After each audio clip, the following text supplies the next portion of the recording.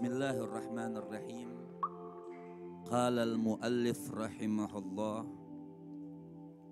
وقال بعض السلف الدعاء كالمفتاح وأسنانه لقم الحلال Di dalam satu kitab ini dikatakan sebagian ulama qala ba'dus salaf ad-du'a kal miftah dalam kitab ini dikatakan doa itu ibarat kunci atau gemboknya.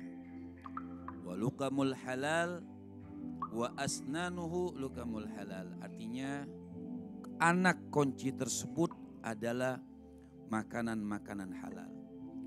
Maka wayan bagi lil insan an la yaghfala anid du'a fi awqati syiddah war rakha' وقال عليه الصلاة والسلام تعرف إلى الله في الرخاء يعرفك في الشدة. Maka yang bagi lil insan dalam suatu nasihat di dalam kitab yang mulia ini selayaknya bagi manusia mereka tidak lalai dengan doa. Orang yang lalai dengan doa itu dikategorikan sombong di hadapan Allah Subhanahu wa taala maka bagaimana kita tidak sombong? Allah yaghfala ani du'a fi awqati syiddah war raha. Kita jangan pernah lalai dengan doa kepada Allah, minta kepada Allah Subhanahu wa taala fi syiddah war raha. Baik dalam keadaan senang, tetap kita berdoa kepada Allah Subhanahu wa taala. Dalam keadaan susah, kita pun tetap berdoa kepada Allah Subhanahu wa taala.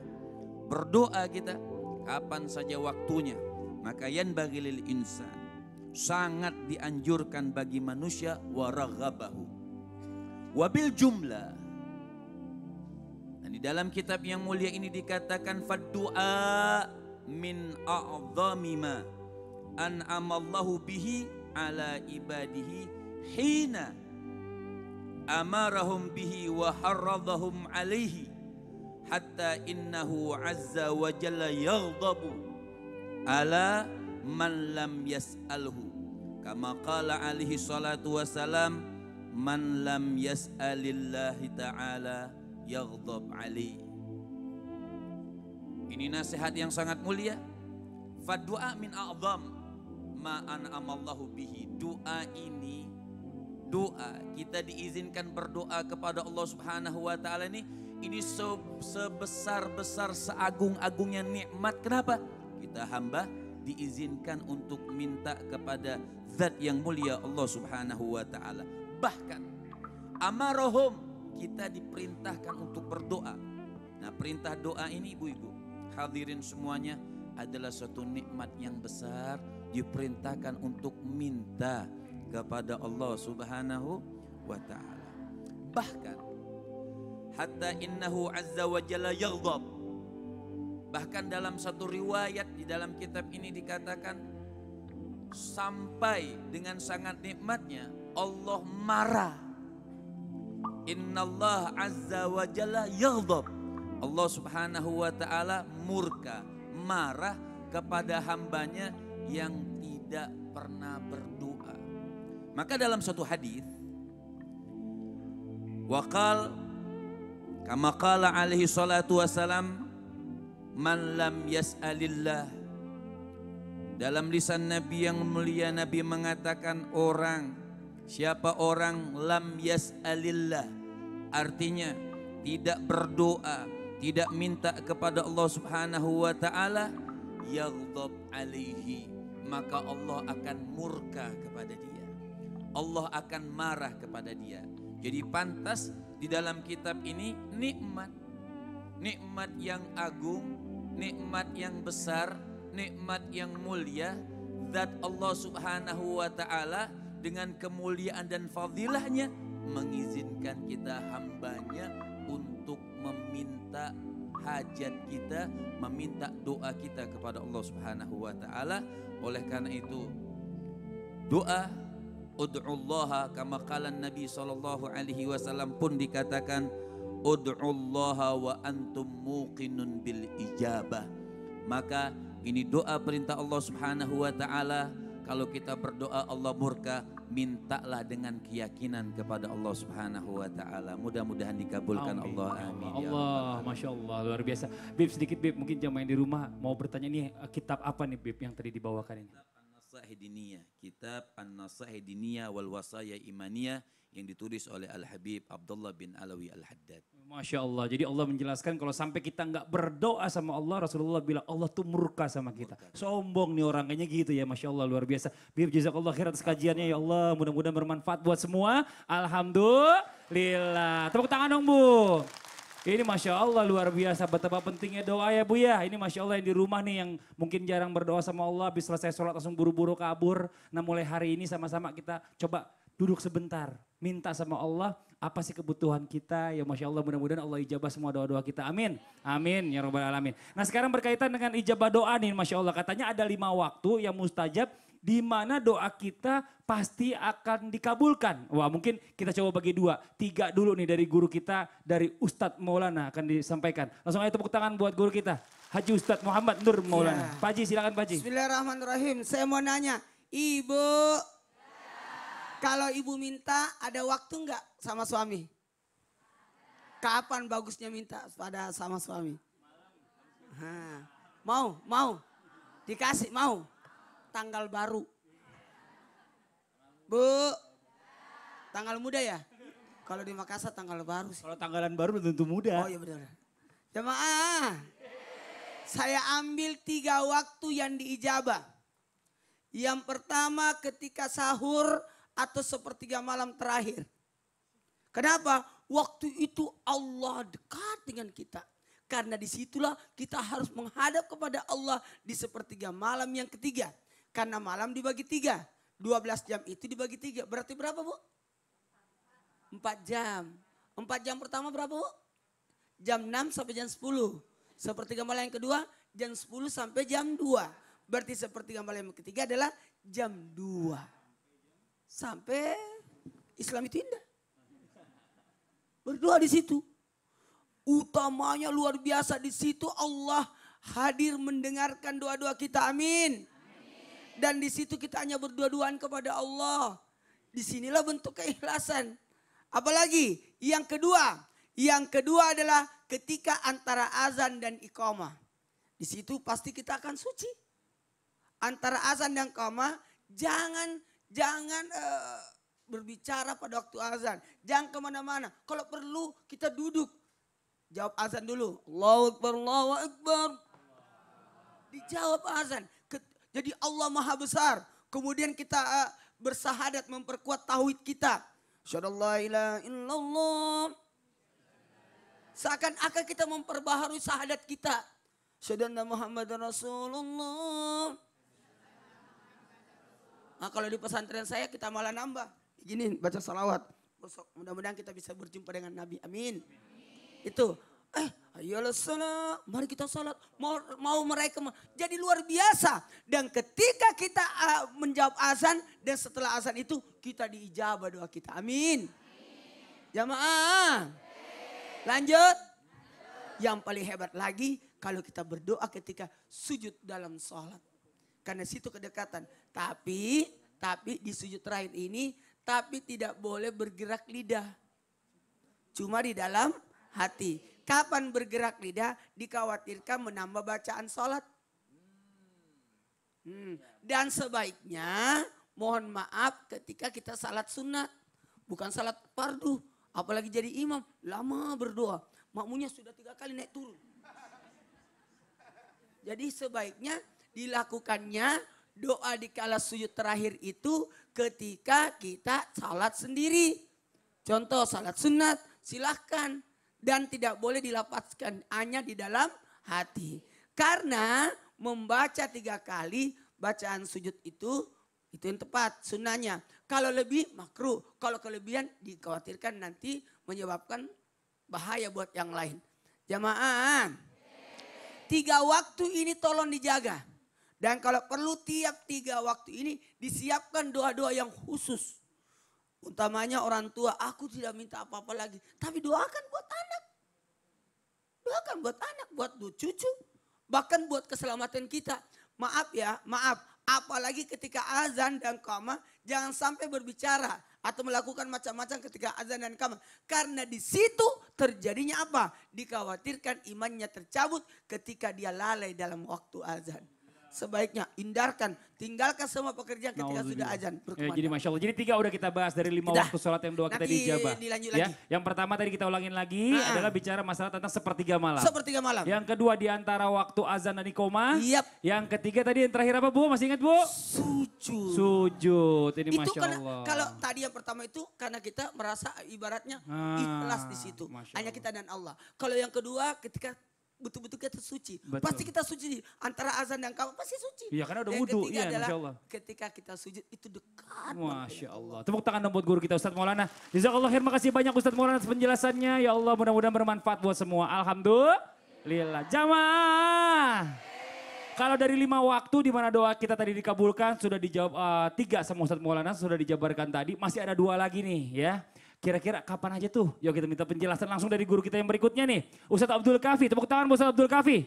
Tepuk Ustadz, Baik, silakan. terima kasih. Bismillahirrahmanirrahim. Pemirsa Islam itu indah yang dimuliakan Allah Subhanahu wa taala.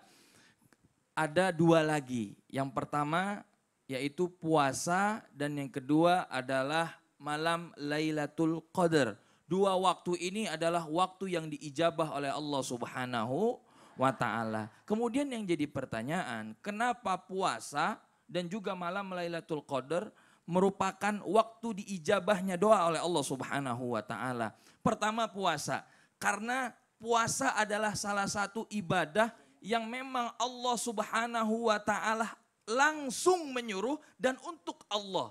Maka fa inna saumun li maka sesungguhnya puasa itu untukku wa ana ajzi bihi. Dan aku sendiri nanti yang akan membalas pahala dari pu, puasa. Bayangkan pemirsa Islam itu indah dan ibu-ibu yang dimuliakan Allah subhanahu wa ta'ala. Ketika kita puasa, seorang hamba itu dekat dengan Allah. Kenapa? Karena dia menahan sesuatu yang membuat dia jauh dari Allah. Dia bisa meredam itu. Apa? Yaitu adalah hawa nafsu. Maka begitu hawa nafsunya ditekan, dia seakan-akan tidak ada batas dengan Allah Subhanahu wa taala dan dia berdoa, maka doanya diijabah oleh Allah Subhanahu wa taala. Kemudian yang kedua yaitu adalah malam Lailatul Qadar.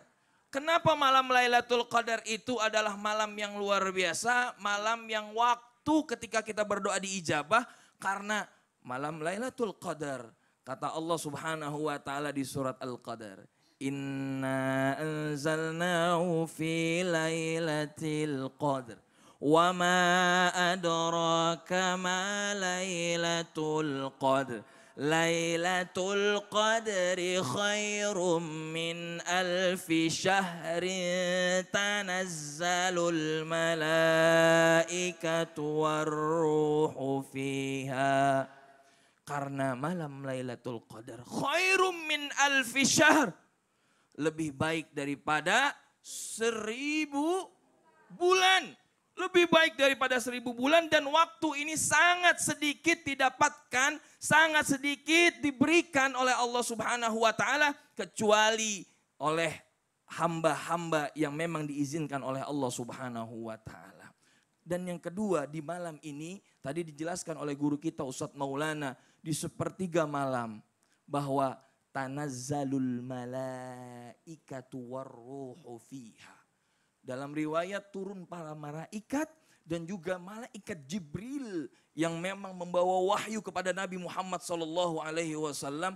Maka itu kenapa sebabnya doa kita dikabulkan ketika kita berdoa banyak yang mengamini. Siapa yang mengamini? Bukan hanya mungkin kita sedang berdoa sendirian di rumah, mungkin kita berdoa di masjid sendirian, tapi kita lihat bahwa tanazzalul malaikatu warruhu fiha malaikat pun mengamini doa kita. Maka sangat mudah ketika di malam Lailatul Qadar doa kita dikabulkan oleh Allah Subhanahu wa taala. Maka pemirsa dan ibu-ibu yang dimuliakan Allah, maka sering-sering kita puasa.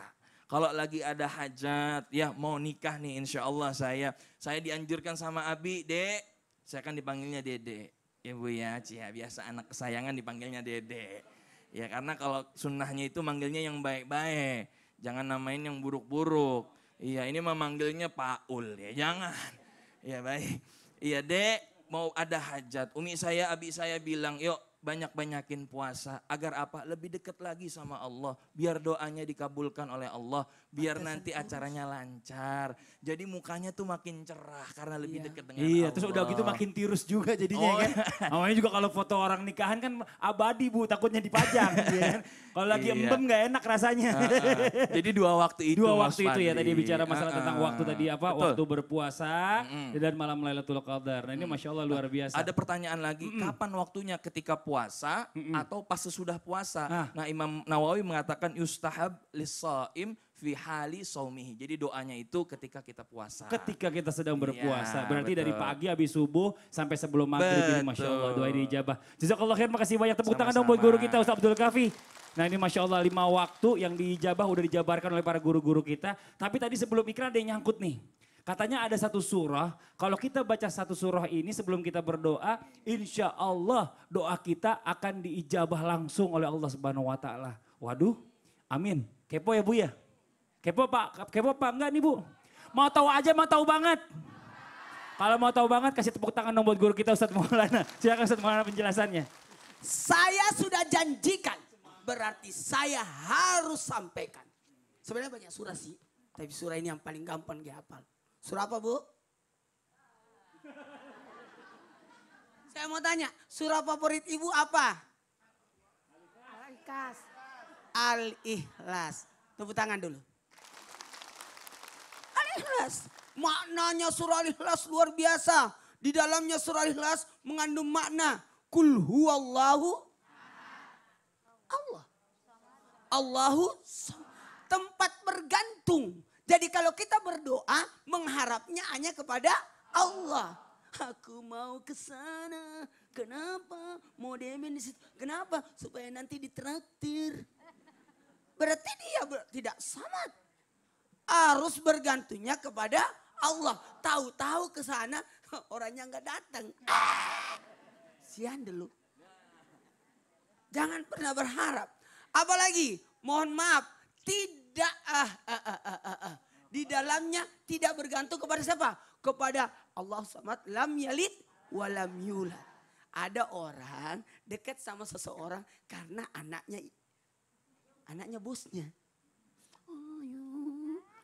Namanya carimu, cari muka. Nah, tapi kita bergantung hanya kepada Allah. Sehingga sebenarnya sebenarnya banyak surah. Ada pernah eh, yang bertanya sama Nabi, ya Rasulullah eh, doaku eh, tidak dijabah. Aku mau, kata Nabi, mau doamu dijabah, mau? Baca Yasin. Ibu mau doanya dijabah? Baca Yasin 41 kali. Lah, nah, nah lo. Bisa nggak baca Yasin 41 kali? Gampang, ada tekniknya. Kumpulin ibu-ibu jamaah 40.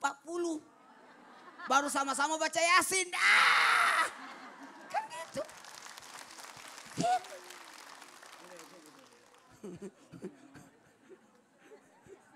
Simple kan?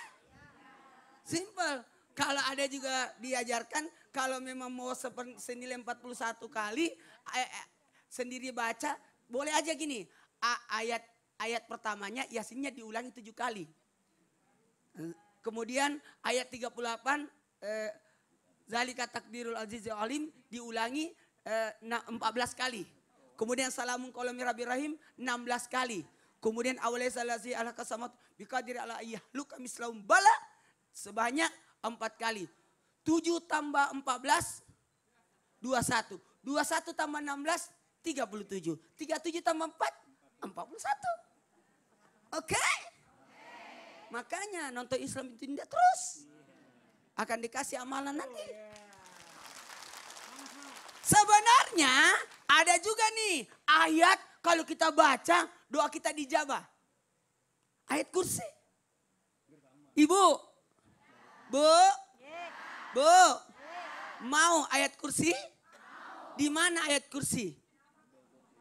Di surah Al-Baqarah. Pertanyaannya, kalau kita habis masak, baca ayat kursi. Insya Allah semua biaya masakannya Allah gantikan lebih banyak.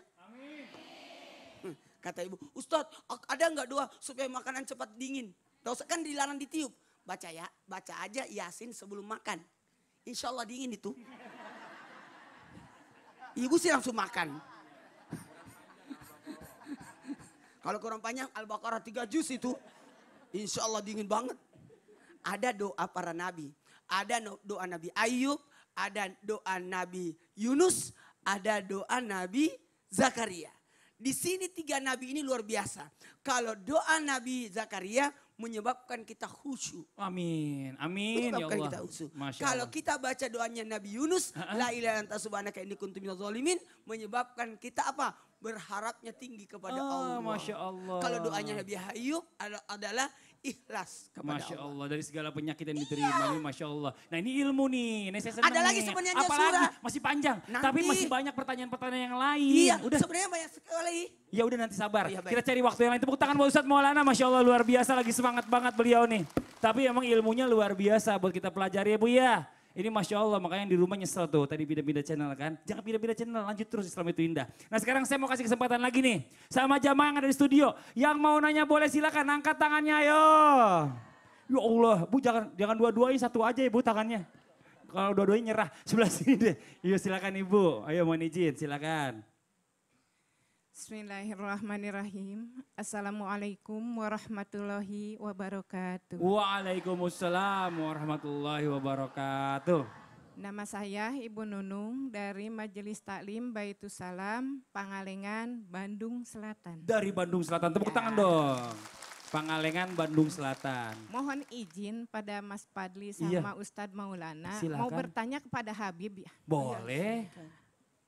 Ada Habib nih, ada enggak sih Mm-mm. hubungannya kebiasaan kebiasaan buruk kita. Jangan kita saya aja ibu aja ya Mm-mm. yang sering bentak-bentak suami Ya gitu Allah. Mm. akan menghambat Mm-mm. terkabulnya doa dari Allah Subhanahu wa taala. Ah. Mohon Ah, penjelasannya. Ibu suaminya masih ada? ada Alhamdulillah. Di mana Ibu? di rumah. Lagi nonton? Iya. Kata suaminya, rasain nih Ibu nih.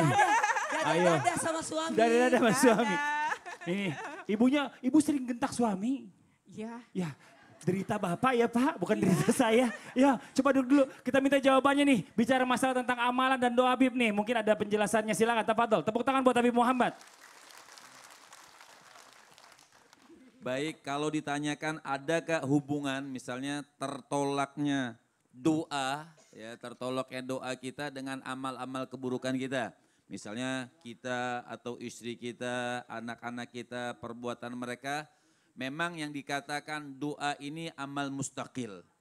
Doa ini amalan mustaqil artinya eh, gobulnya doa atau atau perbuatan doa ini pribadi masing-masing pribadi masing-masing. Kita berdoa. Makanya kan ada kalimat Allah wa antum muqinun bil ijabah. Tadi kita bacakan kitabnya. Berdoa kepada Allah subhanahu wa ta'ala dengan syarat kau yakin doamu dikabulkan. Dan doa kita tidak dikabulkan pun memang. Misalnya salah satu contoh tadi guru-guru kita sudah menyampaikan. Artinya asbab doa tidak dikabulkan itu misalnya salah satunya qara'tum kitab Allah. Kalian baca Quran, walam tak malu bihi, tapi tidak mengamalkan apa yang ada dalam Al-Quran, termasuk doa kita ditolak sama Allah subhanahu wa ta'ala. Atau dikatakan, antum zurtum ilal, eh, atau sayyatumul janazah. Kalian mengantar jenazah. Mengantar jenazah falam tak tabiruhu tapi tidak dijadikan ibro suatu saat kita bakal jadi jenazah juga. Suatu saat kita bakal jadi disolatkan juga. Ketika kita mengantar jenazah tapi kita tidak jadikan ibro ibro contoh kita pun akan meninggal dunia itu pun menjadi salah satu sebab doa kita ditolak sama Allah Subhanahu wa taala jadi sebab tertolak itu biasanya individual dari sebab diri kita masing-masing. Tapi ada yang mengatakan misalnya, tapi kesalahan kita juga. Misalnya anak kita buka aurat misalnya. Kita nggak tegur anak kita buka aurat. Nah biasanya pun doa kita terkadang bisa tertolak. Itu pun bisa bisa dari keburukan anak kita, juga bisa dari keburukan diri kita. Ya, misalnya anak kita uh, naudzubillah min dzalik Kita tidak kasih mereka hanya dunia saja, dunia saja, amal dunia saja. Nah ditakutkan dengan sebab itu keburukan-keburukan yang ada kan namanya al-bala ya'um. Ulama mengatakan bala itu nyebar. Orang berbuat maksiat, terus datang gempa. Orang baik kena nggak? Kena gempa nggak? Orang orang orang maksiat banjir. Orang baik kena kebanjiran nggak? Kena. Kena kebanjiran juga. Jadi bisa terefek samping seperti itu. Oh, Masya Allah. Jadi ada efeknya apa? Efek-efek snowball istilahnya. Apa tuh? Eh, berkaitan karena orang la- lain yang melakukan kita yang kena imbasnya. Iya, bisa nah ini masya begitu. Allah. Ibu jelas ibu pertanyaan ibu ya. Sih. Iya. Mohon doanya mudah-mudahan semua ibu-ibu dijadikan ibu yang soleh. Heeh, yang nggak tidak galak ya, ya? bentak-bentak suami. Ya. Biar nggak galak sama suaminya Bu ya. iya. Kata Habib, amin tuh Habib setuju banget. Tepuk tangan dong buat Ibu. Wassalamualaikum Terima kasih warahmatullahi banyak, wabarakatuh. Waalaikumsalam warahmatullahi wabarakatuh. Jamaah. Gimana Bu seru Bu? Lanjut lagi Bu. Kalau yang gitu, kalau mau lanjut yang di rumah jangan ke mana-mana. Jangan pindah-pindah channel, tetap di Islam itu indah. Jamaah. Oh, Ojama. Alhamdulillah.